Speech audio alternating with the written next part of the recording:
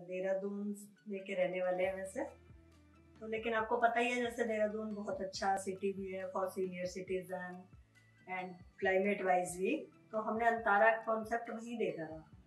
तो वहाँ में लगा कि मतलब सिटीजन सीनियर सिटीजन के लिए बहुत अच्छा फैसिलिटीज़ वगैरह सब है। तो कॉन्टेस्ट हमें कॉन्सेप्ट अच्छा लगा।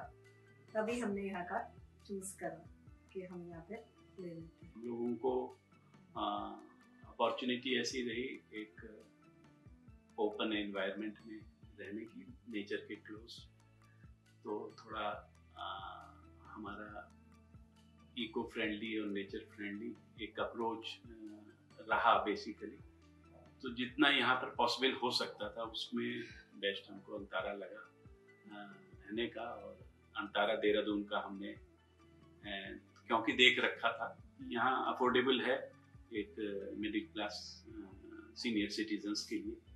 और ये सेक्टर अपने में ही गवर्नमेंट भी काफ़ी प्रमोट कर रही है।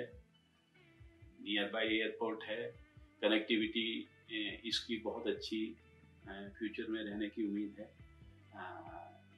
और बाई रोड भी बाई मेट्रो भी।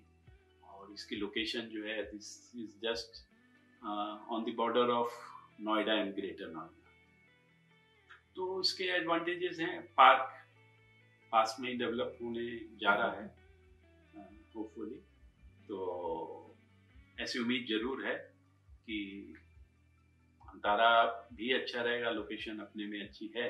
बाकी मेडिकल फैसिलिटीज़ और एंटरटेनमेंट की और रिक्रिएशन की तो सारी रखी हैं अंतारा ने।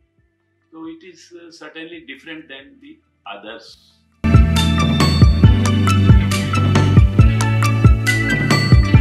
छोटी छोटी चीज़ों पे अच्छा। अंतारा ने गौर किया है फॉर सीनियर सिटीजन जैसे आपका अलार्म सिस्टम भी है वॉल के एजेस हैं इनको थोड़ा राउंड शेप का रखा है जो नॉर्मली दूसरे बिल्डर इस चीज़ पे गौर नहीं कर पाते। बाथरूम का भी टाइल्स वगैरह जो रखी हैं ऐसी नॉन स्किपिंग रखी हैं। सो so, मेरे को उम्मीद है कि और आगे इनोवेटिव आइडियाज़ के साथ हम दादा इसको uh, डेवलप करेंगे। Thank you